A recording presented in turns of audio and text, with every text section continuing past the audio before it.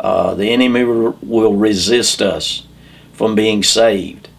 But every person needs to be born again. They need to enter into the kingdom of God. And that's what he's talking about here.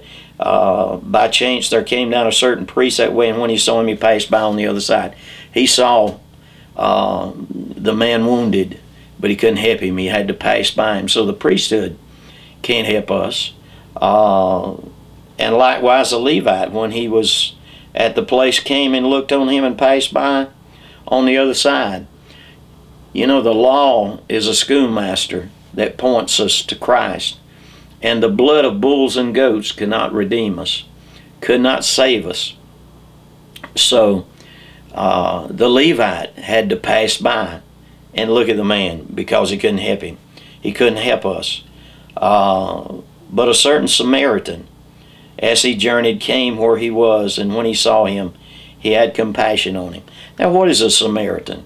We, we know that after Solomon was uh, king, uh, David's son, that the kingdom was divided, and there were uh, ten northern tribes, and there were two southern tribes, Judah and Benjamin. And we know that the northern tribes, that area was called Samaria.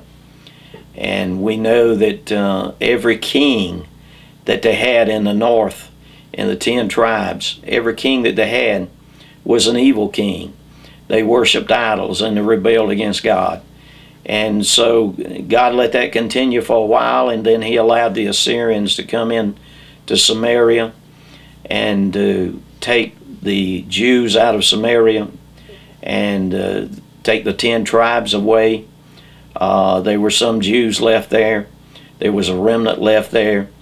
Uh, and we realized that uh, he brought, uh, the king of Assyria brought other uh, people into that area and they intermarried and so they were a mixture between Jews and Gentiles. And these Samaritans built their own temple on Mount Gerizim and they worshiped there. They wouldn't go to Jerusalem to worship, they worshiped there. And so a Samaritan was uh, mixed, like so many of us Americans are. Uh, we're mixed nationalities. But this Samaritan in particular was Jesus. This Samaritan came where the wounded man was. That's Jesus. Jesus who is God, who is all God, and who is all who was all human. He was all God, but he was all human. God came in the flesh and came where we were because we couldn't help ourselves. We were lost. We were away from God. We were absent, absent the life of God. Uh, those that were justified were justified in a Messiah coming. They were justified through sacrifice. And so the Samaritan was Jesus who came from heaven, was born of a virgin. Uh, he was not born with sin, he was sinless. Uh, his father, uh, his, he had an earthly father named Joseph, but his real father was Father God in heaven. And so he was born of a virgin, and he came where we were. In the beginning was the Word, and the Word was with God, and the Word was God. And the Word was made flesh and dwelt among us. So no human being could help us to redeem us. But Jesus was sent, the second person of the Godhead. Jesus is the Son of God. He is not only the Son of God, He is the second person of the Godhead. He is, he is divine. He is holy. And so He came where we were. I praise God for that because without Him, there would be no re redemption. But He He became like us and He had compassion on us. I'm glad that He came not to judge us, but He came to save us. John 3.16, the greatest scripture I believe in the Bible.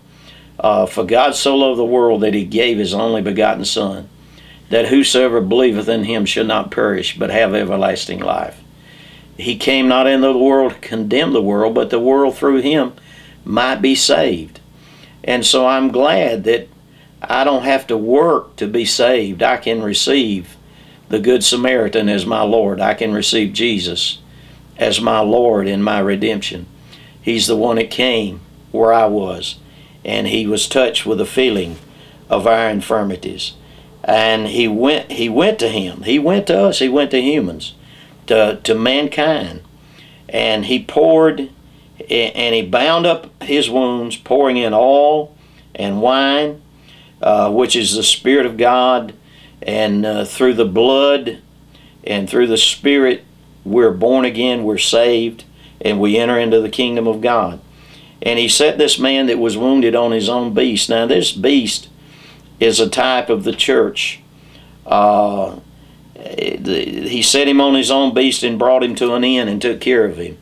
That's that's what the church is doing as an assembly today, as a body of believers, is reaching out to the lost, reaching out to the world. And you know, the Lord said, compel them to come in. So we're not only compelling them to come into the kingdom, but after we get people into the kingdom of God, after we tell this gospel, this good news, and it is good news because Christianity is the only uh, religion, and it's actually not a religion, but it's it's the only religion that has uh, forgiveness for sins. And through this Jesus, through this Good Samaritan that came where we were, and poured in the oil and wine and bound up our wounds. You know, we have so many problems as a human being. We have so many uh, addictions. We have so many things through choices that we've let come into our lives, and we're so bound up and and you know we're so unworthy and and but Jesus loved us so much while we were yet sinners that He came where we were, where we were, where we are, and and He said, "I'll forgive you of your sins," and He bound up our wounds. I had so many wounds when I come to the Lord I needed so much healing in my life. I needed so many, I had so many things in my emotions, in my mind. I had sickness in my body. Uh, I had demonic presence in my in my in my own life. And and Jesus bound up those wounds. He poured in the oil. He poured in the wine. He he he washed me with his blood. He gave me his presence. He gave me his spirit. And and I, I went to the I went to the inn, which is the church, and you know the fivefold ministry was at work there, the apostle, the prophet, the uh, evangelist, the pastor, and the teacher.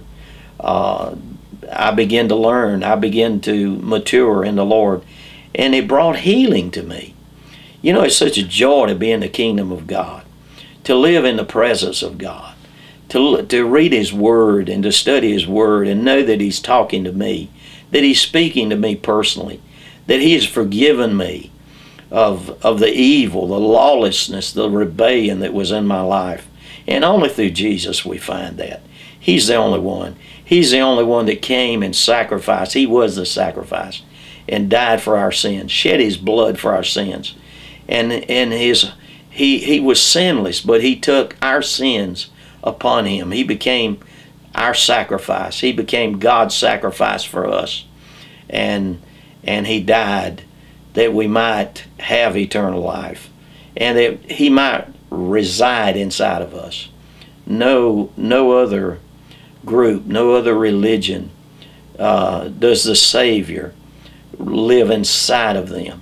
But in Christianity it does. And you know, he, he said that he come to give us life uh, that spiritual life. He, he's no longer absent in our life, but He's living, He's residing in us. And so He, he gave us life and He gave us abundant life. I, I have abundant life here on earth because I have a personal relationship because God came to me. He came in the flesh. He took on the form of flesh and and became like me that I might become like him. I'll never be God, but I'm a son of God. I'm one of His children.